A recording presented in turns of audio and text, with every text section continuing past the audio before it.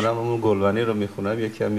بفرمایید چه دیگه. نمیترسیم چون که ایشون حالا بسته برام بله. میترسم در روزگاری کس نمانه گلونی هن امید شو بمونه شیر زنون که سرونی میترسم دیدی که پشمه و مشتیا که رنگ رنگی همشو بوان فراموش چی کت چی گلبنی کافیه دیگه. بسیار عالی. بله. ممنون. محبت آقا به بدید آقای افتخارشون. طهماسبی هم اینجا نشستن